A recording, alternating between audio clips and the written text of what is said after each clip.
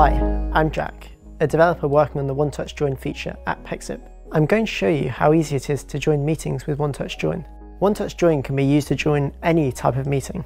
If you have a self-hosted Pexip deployment, One Touch Join will use the existing conferencing nodes.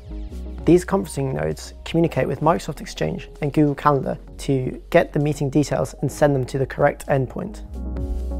Pexip service customers will need to deploy a management node and at least one conferencing node. This can be deployed on-premise or with a cloud provider of your choice.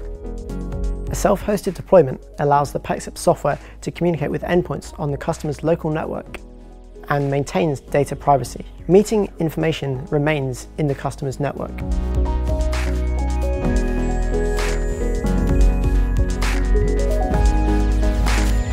To use the One Touch Join feature, employees simply need to schedule video meetings as they already would. First, I'll show you how to schedule a Pexip meeting using Outlook.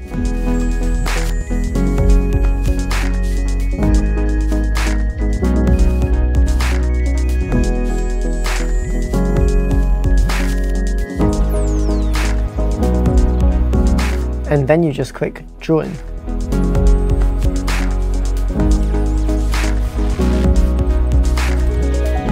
Hello. And now we're going to show you how to schedule a Microsoft Teams meeting.